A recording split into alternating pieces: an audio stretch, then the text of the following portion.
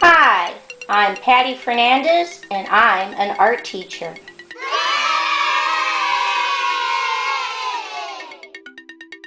Visit my website at pattyfernandezartist.com. Okay, let's draw.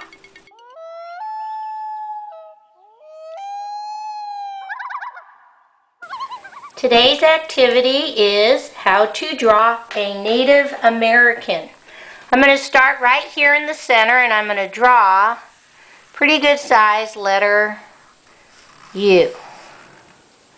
I come down to the bottom and I draw a straight line, slightly curved line, straight line up. And now I'm going to draw little curved lines up, little curved line up, little curved line up, little curved line up, little curved line up, little curved line up. I come on the left hand side and I draw a big curved line down off the page on the left and a big curved line down off the page on the right. Right at the bottom, if you have room, I'm going to go zigzag, zigzag, zigzag, zigzag, zigzag. On the left hand side, I draw a curved line out, curved line in, connect. On the right hand side, I draw a curved line out, curve line in, connect. Coming up to the top, I draw a curve line over, connect, and now I'm going to come down a little bit and I'm going to mimic that line and draw it again. Inside the lines, I'm going to go zigzag, zigzag, zigzag, zigzag. I come right here in the center and I draw a little straight line.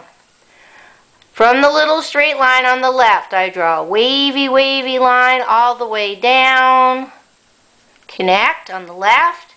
Come back to the middle line and draw me another wavy, wavy line down. Connect on the right.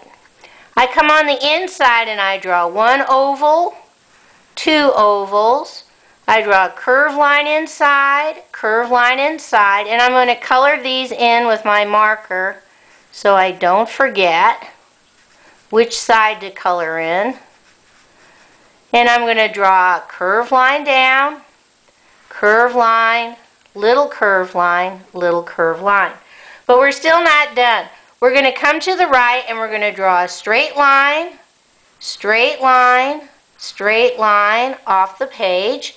I come up and I draw a little curve line in and stop because right here, I'm going to draw a curved line up, straight line, straight line, straight line, curved line, connect. And now I'm going to draw on the right hand side a little curved line up to look like it's holding this dead fish. Because when the Native Americans helped the pilgrims, they showed them how to plant using a dead fish for fertilizer. I come down to the bottom and put one, two little triangles, and one little triangle on top. And there's our Native American, and we are ready to color. Okay, if you have multicultural crayons, I'm using tan, and I'm going to color in my ears, my face, my neck, and my hand using those multicultural crayons. If you don't have them, you can just use a brown very lightly. Now I am coming in with a brown and I'm going to color my sleeve, the inside part of my Indian Native American outfit with brown. I'm going to take a black crayon and color in my hair now when I color, I don't want to use too dark of a color because I don't want to lose all the detail I just did on my drawing. So I color that in. I'm going to take green and do an AB pattern on my headband with orange, but you can also use any color that you want. And let's not forget our fish, so I'm going to use blue-green on that. Because it looks a little boring, I'm going to take my blue marker and again, I'm just going to draw some straight lines in the background just to add some color. so it doesn't look so white. You can use any color you want. That's just a suggestion. Okay, let's see what it looks like all colored in. Here is my Native American all colored in, ready to help the pilgrims plant their plantings for the harvest and Thanksgiving feast.